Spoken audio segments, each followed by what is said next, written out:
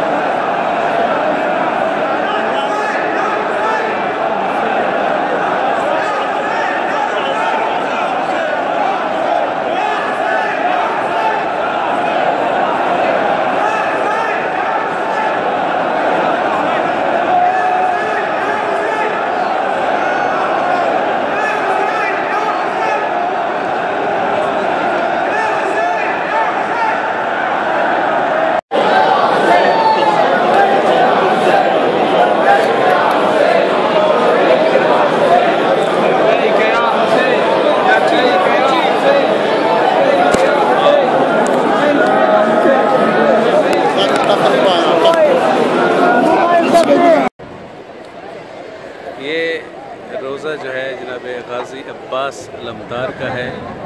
ہم بین الحرمین کھڑے ہیں۔ ظہر کی نماز کے بعد زائرین کا ایک جمع غفیر نظر آ رہا ہے۔